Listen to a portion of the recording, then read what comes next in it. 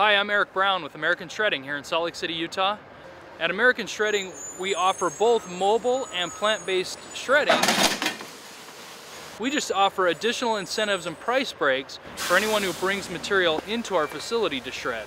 This helps with the air quality and it, and it allows our customers to save a lot of money. Here in Salt Lake, we battle with air quality. It's a big issue here. The plant-based operation runs off of our electricity as opposed to burning it, burning diesel fuel on our mobile trucks. Everything is, goes through a double shred system and is processed within 24 hours. It's a high security facility and a high security process.